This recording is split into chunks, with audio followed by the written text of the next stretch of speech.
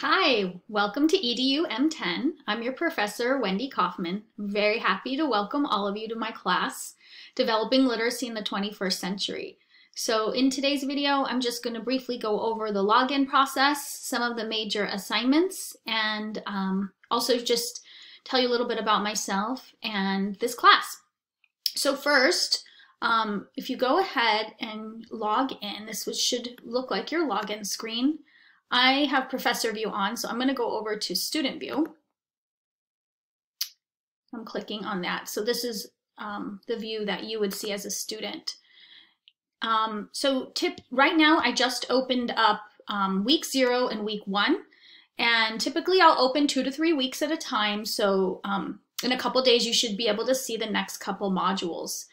And um, week zero just has our welcome information, our um, welcome letter, our syllabus. Be sure to read that for important due dates.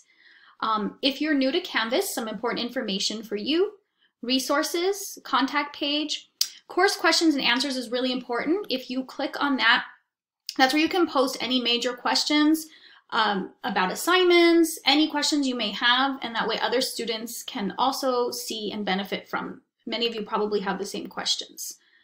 Um, the impact of teaching are some great videos that I think are excellent introduction to you.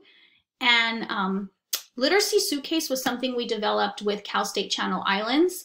And it's an excellent metaphor for how your future students will come into school. So definitely pay attention to that. The Learner Info Survey will give me some more information about you as a learner. And then you'll see the icebreaker activity is a Padlet exercise. And so a way for us to get to know each other. So that's week zero, kind of our introduction week. And if you scroll down, you can start the week one activities. Um, everything will be due on Sundays by midnight, and the brand new module will always start Monday morning. Um, they follow a very similar format. I like that for consistency for my students. I find the structure helps learning, and you'll find that as a teacher as well. When you have a structured lesson or organization, it helps the students relax, feel safe, and so they can learn better. Um, there'll always be some reading. I'll have a PowerPoint for you to review your reading.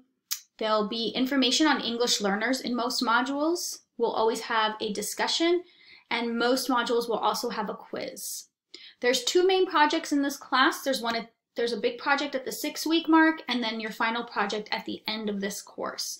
So kind of like a midterm project and a final project. And then each week there are assignments. If you are late for any assignment, you may still turn it in, but it will be docked 20%. That's just my policy. Um, you may still turn, turn it in though, and I do encourage you to do so. So a little bit about me. Um, my name is Wendy Kaufman. I'm a school administrator. I work at a charter school in the San Fernando Valley. I'm an administrative coordinator. I handle mostly special education and student discipline, although when you work as a school administrator, you kind of handle everything depending on the day. So um, I have been a teacher for about 15 years in the elementary classroom, and then I've transitioned, I transitioned into school administration. And then also I've worked at Moorpark. This is my third semester working at Moorpark. So um, it's been really, really a great addition professionally for me, as well as personally. I love being a professor as well. So that's our class in a nutshell. I wanted to open this up to you. Make sure you know I'm here to help you with any questions or concerns you may have. And welcome to our class. Feel free to email um, or text me whenever you may have a question or concern. I am here for you. Thank you, and I wish you a great semester.